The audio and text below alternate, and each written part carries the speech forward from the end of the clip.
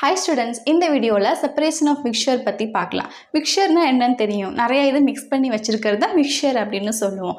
இந்த மிக்சரில் எதுக்கு நம்ம செப்பரேட் பண்ணணும் அப்படின்னா சில சமயம் நமக்கு தேவையான பொருளும் இருக்கும் நமக்கு தேவையில்லாத பொருளும் வந்து மிக்ஸ் ஆகி இருக்கும் அந்த மிக்சரில் அப்போ நமக்கு தேவையற்ற பொருளை வந்து செப்பரேட் பண்ணி ஆகணும் இல்லையா?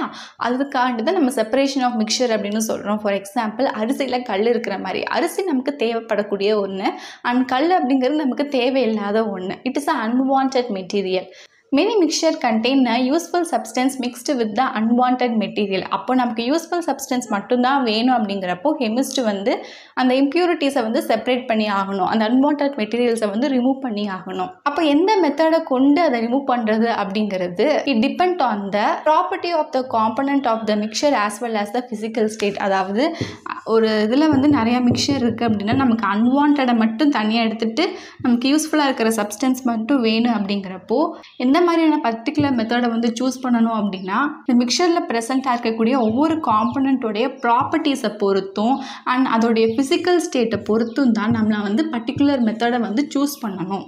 டிஃப்ரெண்ட் மெத்தட்ஸ் இருக்குன்னு பார்த்தோம். அது என்னென்ன மெத்தட் அப்படின்னு சொல்லி பார்க்கலாம். Types of mixture homogeneous and heterogeneous வந்து இருக்குது இங்கே என்னென்ன டைப் ஆஃப் மிக்சர்ஸ்ன்னு இருக்குது அது எப்படி நம்ம செப்பரேட் பண்ணுறதுன்னு இங்கே இருக்குது ஃபர்ஸ்ட் ஒன் ஹெட்ரோஜினியஸ் மிக்சரில் இப்போ சாலிடு சாலிடு இருக்குது ஃபார் எக்ஸாம்பிள் ரைஸ் ஸ்டோன் இந்த மாதிரிலாம் இருந்துச்சுன்னா நம்ம அதை புறக்கி எடுப்போம். ஹேண்ட் மூலியமாக that is hand picking sieving அப்படிங்கிறப்போ மாவெல்லாம் சலிப்போம் இல்லையா? அதெல்லாம் சீவிங் வினோயிங் அப்படிங்கிறது இந்த அரிசியில் மேலே இருக்கக்கூடிய தோலெல்லாம் வந்து ரிமூவ் பண்ணுறதுக்காண்டி வினோயிங் வந்து பண்ணுவோம் மேக்னெட்டிக் செப்பரேஷன் மேக்னெட்டை யூஸ் பண்ணி கூட அயன் பார்ட்டிகல்ஸ் தனியாக அண்ட் வேறு சில சப்ஸ்டன்ஸ் தனியாக பிரித்து எடுப்போம் அண்ட் சப்ளிமேஷன் இன்னொன்று ஹெட்ரோஜெனியஸ் மிக்சரில் அனதர் ஒன் இன்சாலியபிள் சாலிட் இருக்குது அண்ட் லிக்விட் இருக்குது இதை செப்பரேட் பண்ணுறதுக்காண்டி நம்ம sedimentation and decantation loading filtration and centrifugation இந்த மாதிரி மெத்தட்லாம் யூஸ் பண்ணுறோம் அண்ட் ஹெட்ரோஜினியஸ் மிக்சரில் தேர்ட் ஒன் டூ இன்மிசிபிள் லிக்விடாக இருந்துச்சு அப்படின்னா அது செப்பரேட் பண்ணுறதுக்காண்டி நம்ம decantation and solvent extraction method வந்து யூஸ் பண்ணுறோம் அண்ட் ஹோமோஜினியஸ் மிக்சரில் பார்த்தீங்க அப்படின்னா டூ மிசிபிள் லிக்விடாக இருக்கும்போது we have to use a fractional distillation method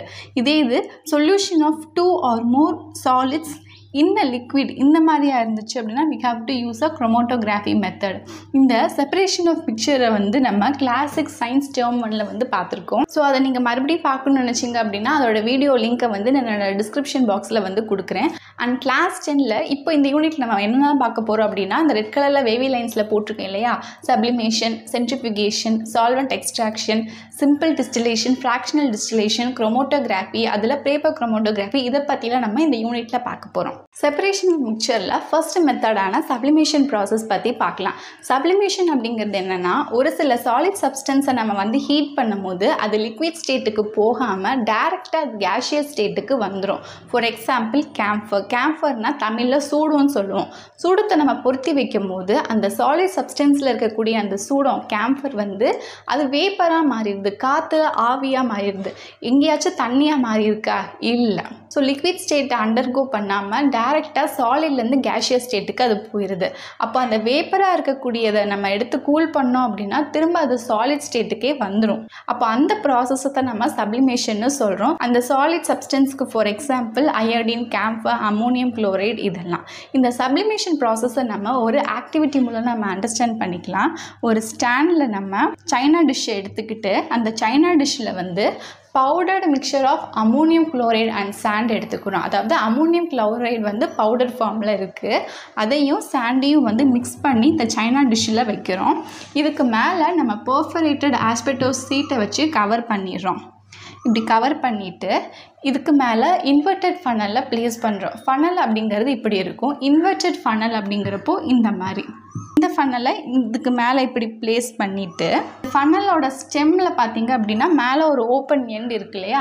அதை வந்து ஒரு காட்டன் நூலை வச்சு க்ளோஸ் பண்ணிடுறோம். க்ளோஸ் பண்ணிவிட்டு இந்த ஸ்டாண்டு கீழே அடியில் வந்து ஒரு பேர்னர் வச்சு என்ன பண்ணுறோன்னா இந்த சைனா டிஷ்ஷை வந்து ஹீட் பண்ணுறோம் அப்போ சைனா டிஷ்ஷில் என்ன இருக்குது powdered mixture of ammonium chloride and sand வந்து இந்த சைனா டிஷ்ஷில் ப்ரெசென்ட் ஆகி இருக்குது அமோனியம் குளோரைடு அப்படிங்கிற அந்த சாலிட் சப்ஸ்டன்ஸை நம்ம ஹீட் பண்ணோம் அப்படின்னா அது என்னவாகும்? டேரெக்டாக கேஷியஸ் ஸ்டேட்டுக்கு போயிடும் அப்போது the pure vapours of the volatile solid passes through the holes இந்த the and condense on condense on the inner side of அதாவது அந்த ஆஸ்பெஸ்டோசீட்டை வச்சு மேலே கவர் பண்ணியிருக்கோம் இல்லையா? அதில் வந்து சின்ன சின்ன ஹோல்ஸ் வந்து அந்த ஷீட்டில் இருக்கும்.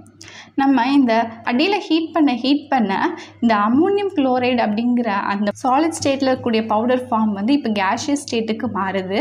அப்போ வேப்பராக மாறும் போது அந்த ஆஷ்பஸ்டோ ஸ்டேட்டில் வந்து ஹோல் வந்து இருக்குது அந்த ஹோல் வழியாக அந்த வேப்பர்ஸ் வந்து மேலே போய் எங்கே வருது? இந்த ஃபனலில் இங்கே வந்து வருது. அப்படி வரும்போது ஃபனலுக்கு மேலே பார்த்திங்கன்னா கூலாக இருக்கும். அப்போது அது கண்டென்ஸ் ஆகுது. வேப்பர் வந்து கூலாக ஆகும்போது அது வந்து சாலிட் ஃபார்முக்கு வந்துடுது கண்டென்சேஷன் அப்படிங்கிறது என்ன?